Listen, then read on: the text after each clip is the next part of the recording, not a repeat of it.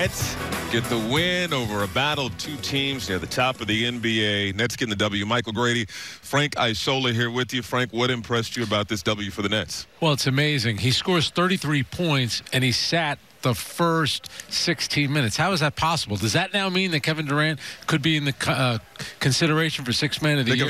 it really is. And, you know, he didn't start the game. He came in in the second quarter, then he started the third quarter, started the fourth quarter. So what did Steve Nash say? No, he's not going to play 30 minutes, but he came awfully close to that. But for him to put up 33 points like that after missing a week of basketball, again, it just, it's not like we don't know that. It's like that he just reminds you every time he takes the court of how great of a player he is. No doubt about it. Ian was going to give him some love for 10th man of the year, considering how many guys good. came in ahead of him in this ball game. But his efficiency continues to impress. Got through this game clean. But again, 33 points, as Frank just pointed out.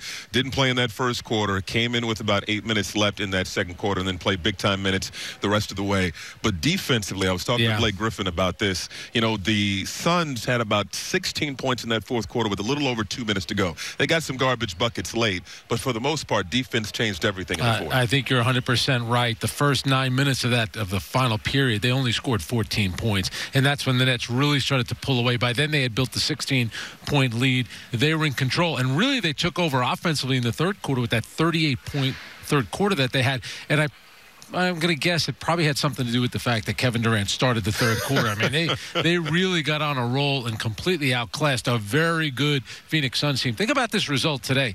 They get a win like this. They've now beaten Phoenix, a terrific team with 42 wins, two times already. Mm. Let's take a look at the game summary from this one again. The Nets getting the win, 128-119, high-scoring affair. Devin Booker with 36 points. Kyrie Irving, awfully impressive. Red hot to start this game, 34 points, 12 assists.